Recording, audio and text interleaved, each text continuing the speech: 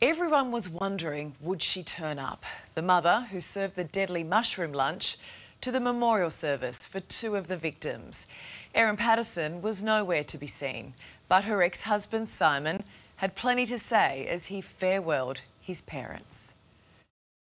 They would always wave goodbye and they parted ways. It's partly because one day would be the last wave. As mum and dad lay in comas in the Austin Hospital in their final days, and each day we were unsure whether they would recover or not, it was comforting to know that when we said, see you later, we knew it was true. They were born two months apart and died within a day of each other. Don and Gail Patterson farewelled by those who loved them most. There's no fluke that Mum's final text message on our family group chat as she lay in Dandenong Hospital was lots of love to you all. It's the first time we've heard from Simon Patterson, whose parents, Gail and Don, and Aunt Heather died. Simon's uncle, Reverend Ian Wilkinson, remains in hospital. The tiny Victorian communities of Leongatha and Korumburra, torn apart by tragedy, united in grief.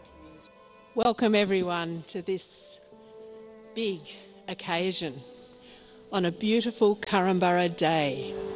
Don and Gail Patterson weren't only pillars of this community, their church and the local school where they worked, they touched lives around the world, from Botswana to China, where they mentored young people and even taught English.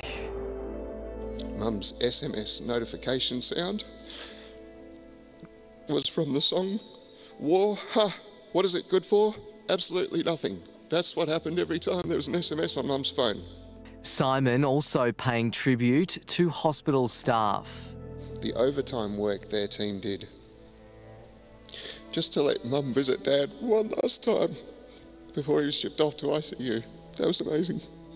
While hundreds turned out to pay their respects today, there was one person missing the woman who cooked the lethal lunch. That was just over a month ago. While she hasn't been charged, Erin Patterson was named as a suspect because police say she prepared the poisonous meal. And we can reveal she's since visited her Melbourne lawyer at least three times in recent weeks.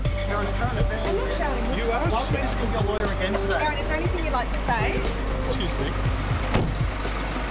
Despite initially speaking with a current affair, Erin's remained tight-lipped since. I'm so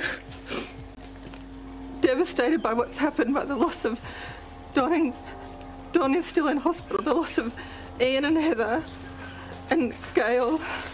We can tell you though, she claims to have given authorities a sample of her leftover beef Wellington, which she says she retrieved from the bin.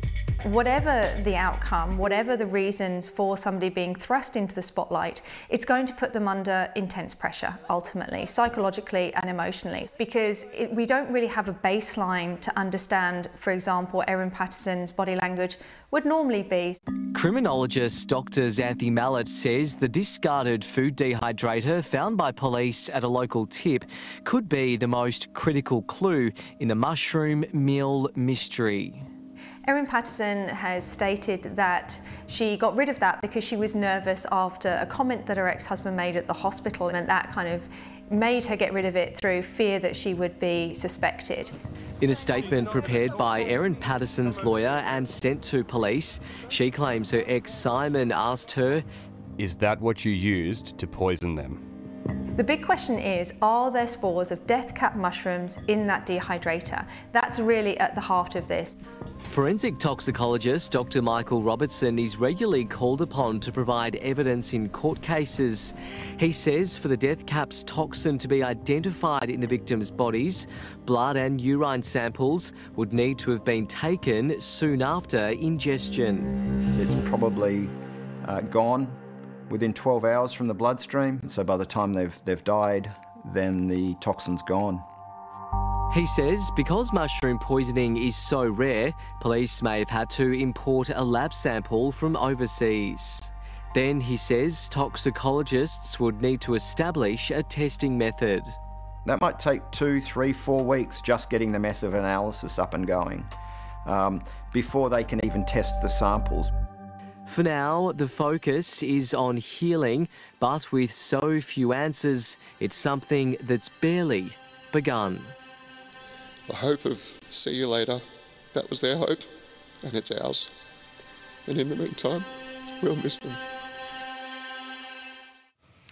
Beautiful tribute there from Simon, and it must have been incredibly tough for him.